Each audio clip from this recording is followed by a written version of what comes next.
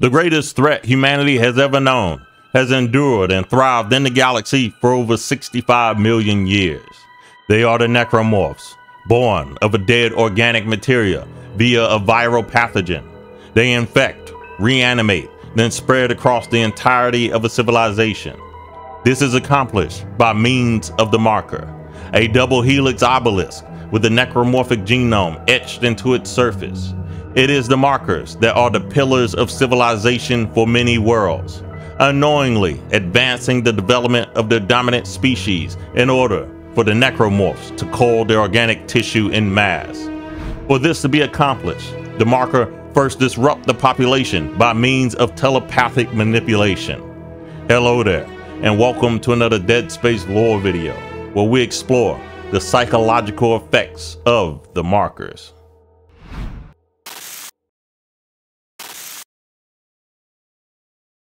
The necromorphic conquest of a civilization begins with the discovery of the black marker, an ancient relic often pre-placed on the homeworld of an advanced race, driving their progress, enhancing their biological structure, and feeding them hidden knowledge of the universe.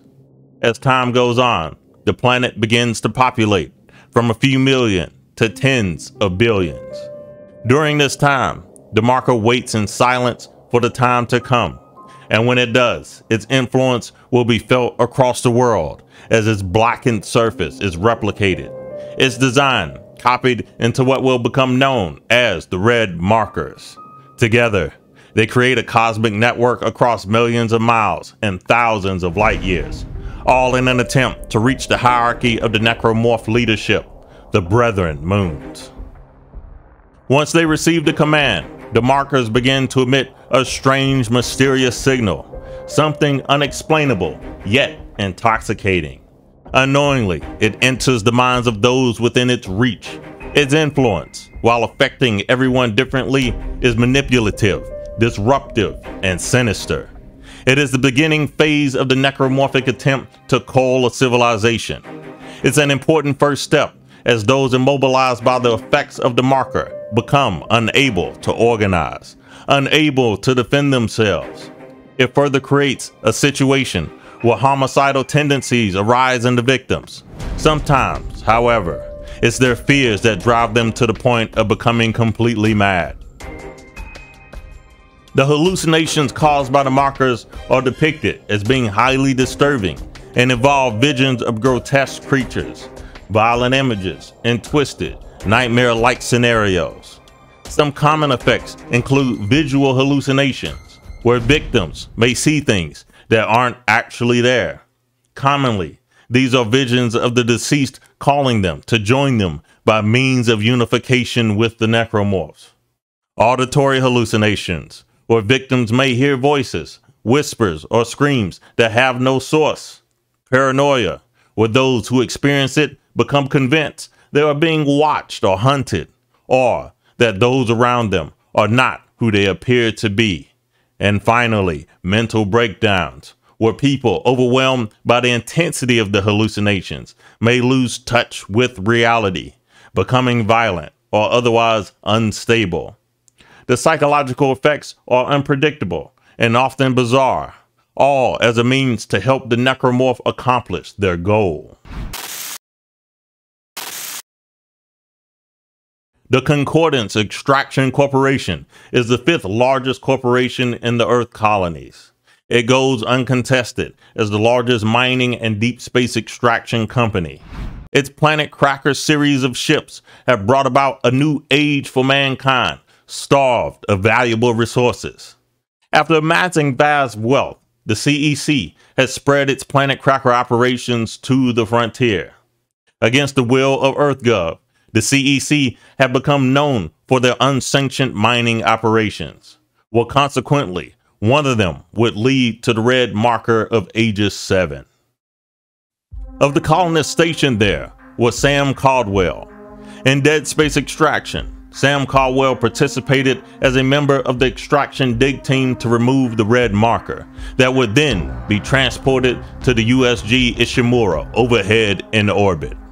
While attempting to remove the marker from its pedestal, the dig team consequently activated it. Without warning, the obelisk unleashed a powerful energy wave that spread across the entire colony, disrupting life support and communications. Most importantly, it damaged one of the many tethers required for the Ishimura's planet cracking operation. It would be Sam's team to be ordered to repair the tether so operations may resume. Into the depths of the colony, they journeyed the route forward to the tether. Eventually, they stumbled across one of their fellow engineers committing a homicidal act. He seemingly had lost his mind. In a fit of rage and wielding a rock saw, he attacked, resulting in Sam's team firing on him. While recuperating from the shocking events, they were attacked once again by a group of deranged workers. All along the route, they would witness horrific encounters, such as suicidal victims and murderers, all while slowly succumbing to madness. While at first thought the immediate reaction would be to seek help, the colony was in peril. Sectors were beginning to lose oxygen. The team had to repair the tether, fix life support, and deal with the chaos when they were able. But in the end, Sam would find himself alone, isolated. From every direction, he was assaulted by homicidal colonists, which led him to accidentally killing one of his own. It wouldn't be long until he himself became fatally wounded by a gunshot from a security officer's pistol. Then it is revealed Sam, unknowingly, had fallen under the influence of the marker. The bizarre killings and monsters he witnessed were all hallucinations. In reality, those he believed to be terrifying creatures attempting to take his life were in fact innocent workers. He had killed them and his team. His story wouldn't be the only incident, as since the discovery of the marker, many will undergo the same torment.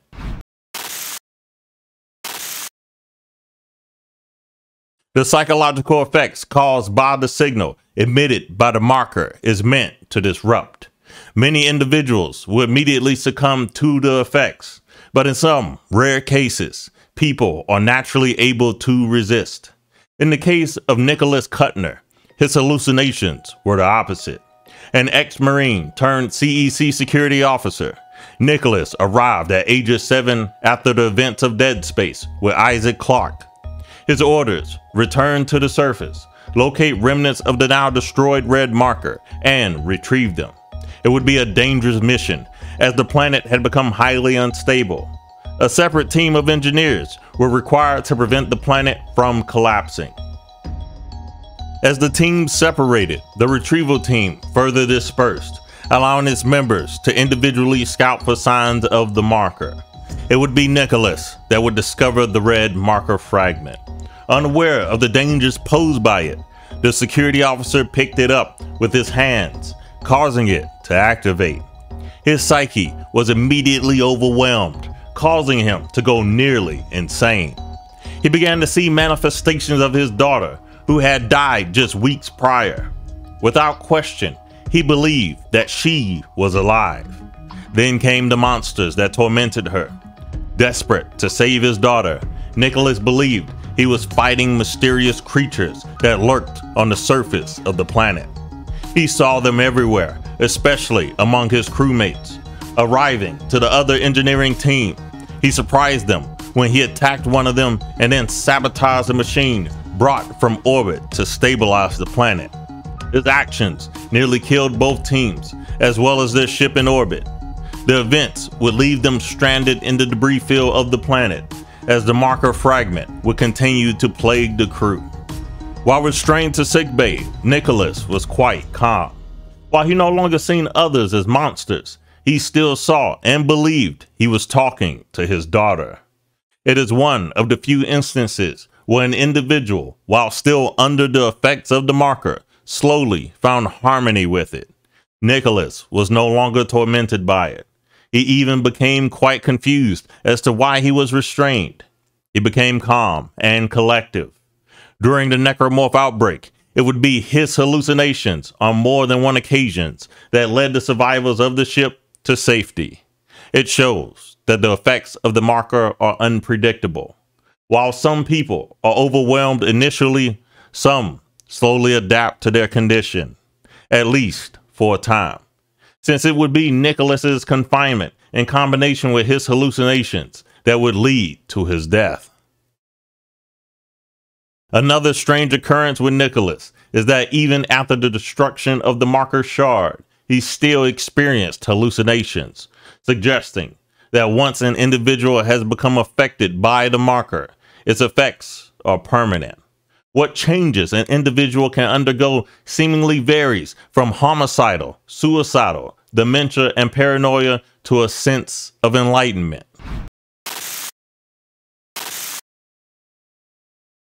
After Nicholas Kuttner, the marker fragment fell into the hands of Nolan Stross. Nolan was a dedicated servant to the Church of Unitology. His tour to Aegis 7 was specifically to study the marker itself. For a time, he was aware of the vast knowledge being fed to him through visions, using his logic to recognize his slipping mental state.